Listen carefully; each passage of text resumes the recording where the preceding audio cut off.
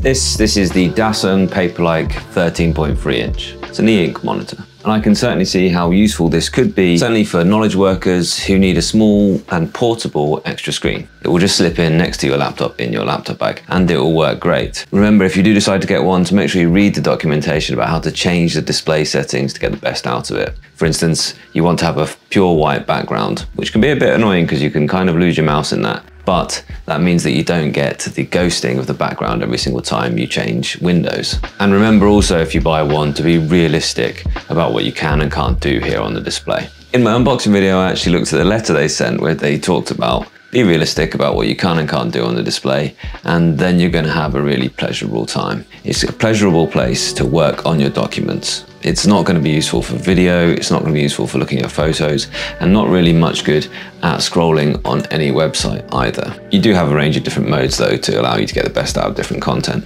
I did use it for my normal two weeks at work and I did find it useful. I did find it pleasurable for working with text documents. I did, however, find that it was quite heavy really and a bit too much to carry around in my current work setup. You see, in my new school, I don't have a fixed base and so I'm having to set up workstations wherever I am during the day. A 13.3 inch ink monitor is ideal for that, especially for my line of work where I'm mostly working between different documents, maybe with a reference document here on this screen and a document that I'm working into on, on color on my main laptop screen, using Word documents quite a lot and PDFs. It just gives me that extra room. However, the thing about that is you're carrying around something which is quite large and quite heavy and it can't be your one and done device. So additionally to that, I'm having to carry my note-taking e-ink tablet. So that's now another e-ink screen that I'm carrying around. So I think that it's worth, I'm going to discuss and show some comparisons actually between the Paperlike HD monitor and an e-ink tablet of the same size. So I need to have that pen input to use for my planner. And I think in the long term, I'm probably only going to take this when I know that I'm going to have a sustained period of time, prolonged period in one place where I'm going to be working on some focused documents. So although it is portable, really it's for when you're settled for a couple of hours in one spot. And then I kind of know that what will end up happening is I'm going to end up forgetting to actually just take it in my school bag.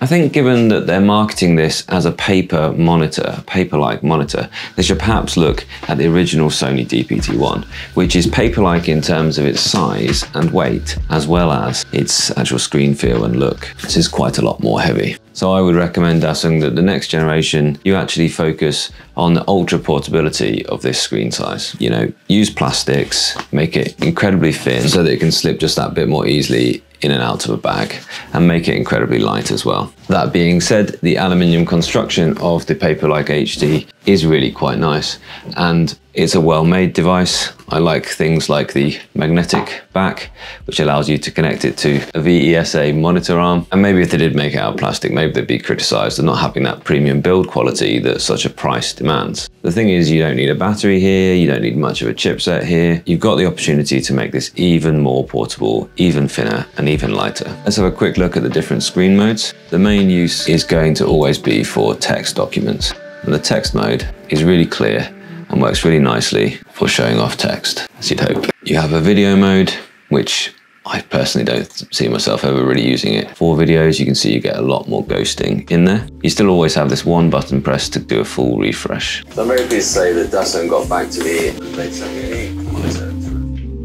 And in all of the modes, you can change the speed of the refresh by holding down the mode button and using the plus or minus. So this is just fast video mode. You can see, I think we're getting something like four frames a second there, all the way up to fast quadruple plus, which you're getting a lot more image degradation and you're retaining that mode there, but you are getting a healthy frames per second there. So at a push, if you were really wanting to use this for video, it is a possibility, but I would never really be using it for that. You can see text mode will look unusable for video, as text mode is prioritizing the black and white, and you have a graphic mode, which actually looks quite good actually in the video. That probably looks one of the best. Let's try plus plus plus in graphics. I would say I've only been really using the text and the graphics mode and really, I've been purposefully only using this for text, so I've been living in that mode. But essentially, I find graphics mode, if I want to do a little bit of browsing, is quite good. And you don't really need the full quadruple plus, sort of the double plus is good enough, really. And that's okay for scrolling around websites. Anything with images that you need to see That's quite nice. You see there is quite a lot of ghosting here and I'll talk about that in a moment when I compare to the Boox Tab X. I am just going to be using text mode and there are still different speeds. And actually I find that a higher speed is quite good for text, although it does not need to be on the quadruple plus. Something around the double plus text mode, that's where this monitor has been living when I've been using it. So the question is really, should you use this or should you buy something like the Boox Tab X? And the price is not too different.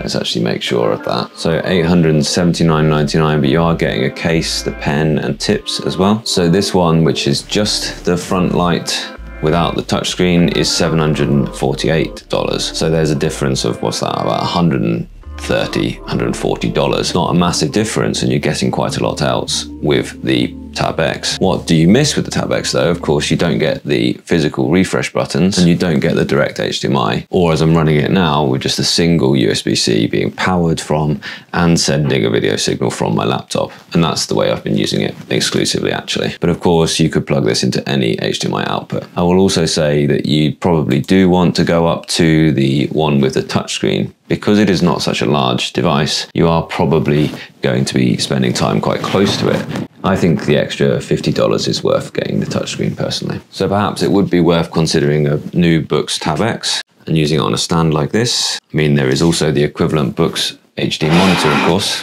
which we'll have a quick look at that as well. The Boox Mirror 13.3 is about the same price. And I haven't actually tried these, but of course the Boox Super Refresh technology is fabulous. You see, I think it's quite usable, isn't it? I'd also just say there is different lighting modes. So you've got cold, you've got warm, and you've got the white kind of mix, which of course that's what I live in. Without holding down mode button, you can increase and decrease the contrast there, which is quite useful. And if you hold down the light, you can increase and decrease the brightness with the plus and minus as well. So what you could use, of course, is you could use a Boox Tab X with Space Desk. Sort of match up the front light brightness, I suppose. They are the same e-ink screen. They're both 2200 by 1650 pixels, so 13.3 inch screens. So there we are, exactly the same content. Now, what I'm running here in balanced mode. we should see down here on the Boox Tab X is that it is clearing the ghosting as it goes. It is looking better on the Dasung at this point. And that is not because the screen isn't being handled so well. What is happening that is making it better on the Dasung is because it's got the HDMI feed, it's got the actual cable wired feed. It is getting a higher quality feed and Space Desk over the internet is not giving it as crisp text on here. Come in a bit closer. That's the Dasung and that's the Boox. So yeah, actually Space Desk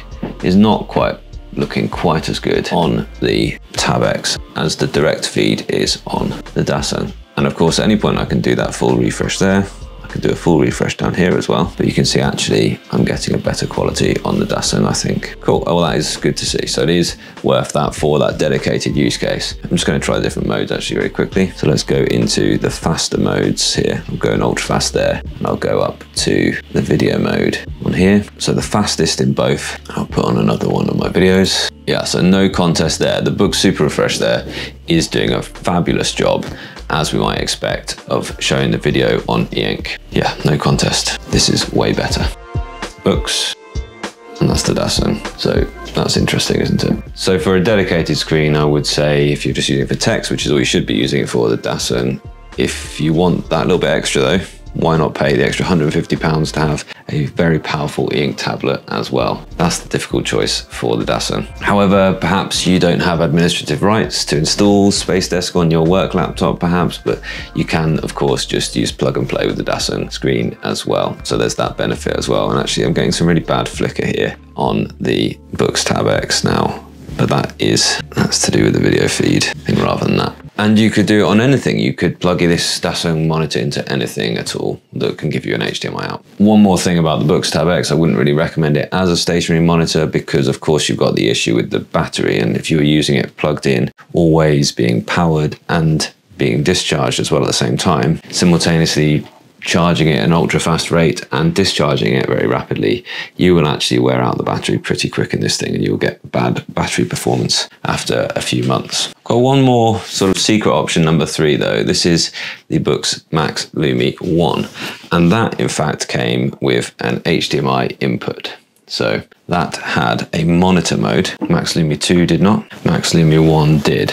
Now, what could you actually get a Max Lumi 1 right now used. Let's get back into graphics mode. pretty hard to find. I can see one on eBay for £540. So that could be an option. And then you, of course, wouldn't be so precious about the battery as well because you had an older device that probably already was not performing so well. Although booted this up for the first time in a long time, it's still got quite a lot of battery available there. So the Max Lumi 1 can receive an HDMI feed directly. So actually that looks great. That looks straight away really, really good. Wow, you know, it is really performing very well. It looks great. So no Boox Super Refresh technology on this at all. The touch does work with Space Desk, but it doesn't work if you've just got the HDMI on. I don't know what screen mode I'm in currently on the Max Lumi 1. Let's have a little look. Center is on sort of the best mode, so I'll go on the speed mode. Actually, it's handling it quite nicely. But out of these two, probably is slightly nicer on the Dasung Paperlike HD. What am I in that video, am I? Yeah. So between the two generations old Boox Max Lumi and the Dasung, I think you're getting slightly better out of the Dasung. But there's not much in it, so perhaps that might be worth a look if you're looking to save a little bit and going for the Max Lumi 1. But of course, for both of those, the upside is if you're carrying around a monitor for your professional use at work, you're also carrying around a tablet. So either the Max Lumi 1 or the Tab X could be your one and done for your planner, for your note taker, for your reader, and for your spare monitor as well. Another option, of course, is to get an LCD screen. And I've been looking at reflective LCD and I've also been looking at uh, transmissive LCD, which is the Eaze-Eye. So there are other options as well. This is the reflective LCD. Of course, that's not a portable thing at all. But I've also been looking at a portable LCD, something like this. This is the OIWAC much lighter, can actually clip onto the back of your laptop screen and full review of that will be coming soon as well. But of course, you're losing the benefits of the e-ink, but you are saving a lot. Very impressed by the Max Lumi 1 still. You can see how it being so close, I just naturally try and press it every now and then. And you can get a small 1080p monitor like this for around £100 and it'd be perfectly good. And of course, the OIWAC could be better for video or photo. So where would I rather be? I'd rather be on the Dasung for text and I'd rather be on the For video or photo. So typing is great on e-ink now. There's this myth that e-ink is slow. Okay, if you expect it to show you videos or play games, it is, but it's great for its intended purpose, which is the written word. So another thing that I'm quite impressed with is actually the way they've incorporated the VESA into this. So it works with a magnetic arm, so there's a magnetic area on the back of the device, and that can just clip onto the VESA stand. So you can leave some magnets essentially permanently attached to the screws in the VESA, and then you can just clip this up and really take it off in moments as well. And it has a little folio case which you can just clip into as well.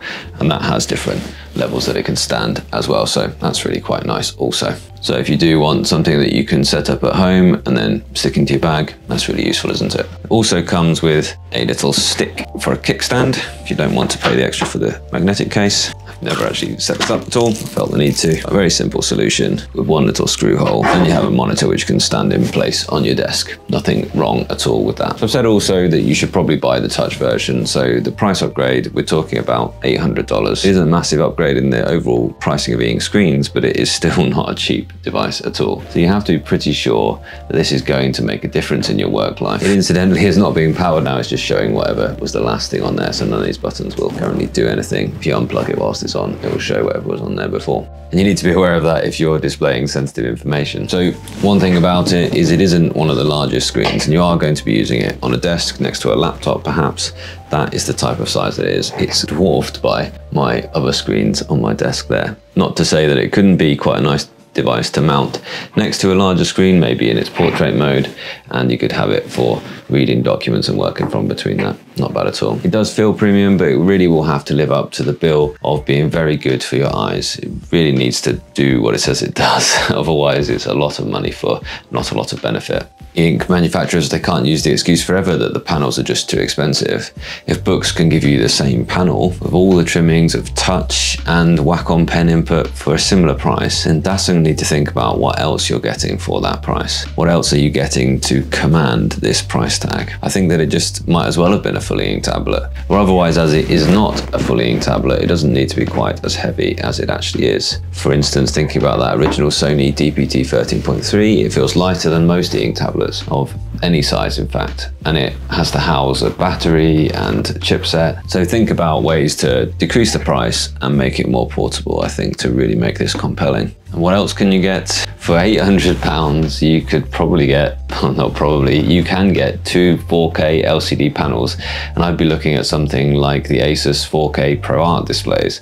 So a pair of 4K displays, I think they're 27 inches or something like that. That might well be a more comfortable viewing experience than a much smaller, lower pixel count e-ink screen. There's something to be said for the ease of viewing content on much larger screens with much higher pixel density as well in terms of eye comfort. It's not just the eye comfort benefits of having a reflective screen that matter. The Dasung, compared to the Tab X or the Max Lumi One, it's a difficult sell. However, if you just need a dedicated monitor, there are still some benefits. And I think it's having the buttons there on the side, and I think it's having the direct HDMI, or of course the single USB-C port for power and signal. But all round, I think for value, go with one of the Boox, perhaps even the color tablets now. I, for instance, use the Tab Ultra C Pro and I use it with Space Desk and I use it to do quick pen input into Photoshop, for instance, as well. That's a far more versatile thing. Whereas this is great for a single use. If you need a screen to do text editing on, look no further.